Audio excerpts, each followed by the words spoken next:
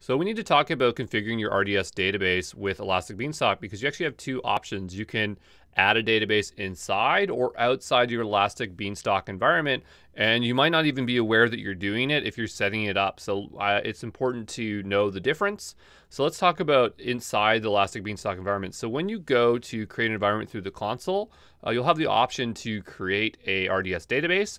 And if you are doing that, that means it's going to be within the uh, Elastic Beanstalk environment. Now, um, the thing is, if you do this, that means whenever this environment is terminated for any reason, it will take out the database with it.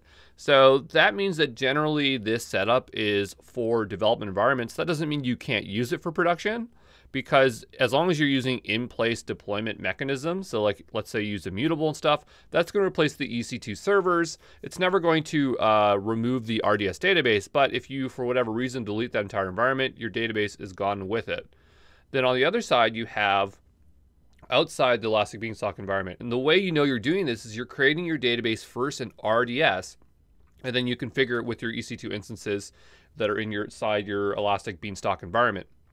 Now, when the Elastic Beanstalk environment is terminated, the database is going to remain because it wasn't created part of the EB environment. And so these are generally suited for production environments.